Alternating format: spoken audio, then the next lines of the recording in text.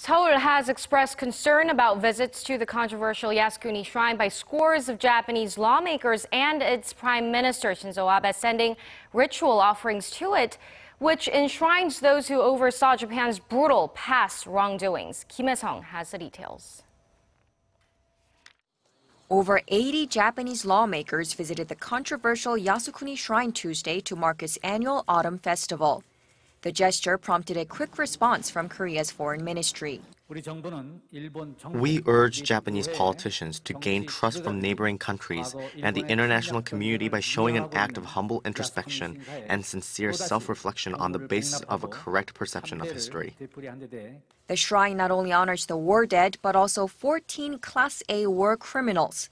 Visits by senior Japanese politicians have for decades drawn angry reactions from Seoul and Beijing, which regard the shrine as a symbol of Japan's wartime militarism.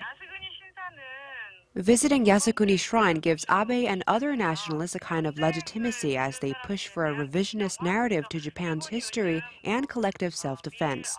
Of course, it harms Japan's relationship with Korea. The Japanese political leader's visit came a day after Prime Minister Shinzo Abe sent a ritual offering to the shrine. Abe has only visited the shrine once since taking office to avoid inciting tensions with Korea and China. But more Japanese lawmakers are reportedly slated to visit during the shrine's annual Autumn Festival, which runs through Thursday. Kim Hye-sung, Arirang News.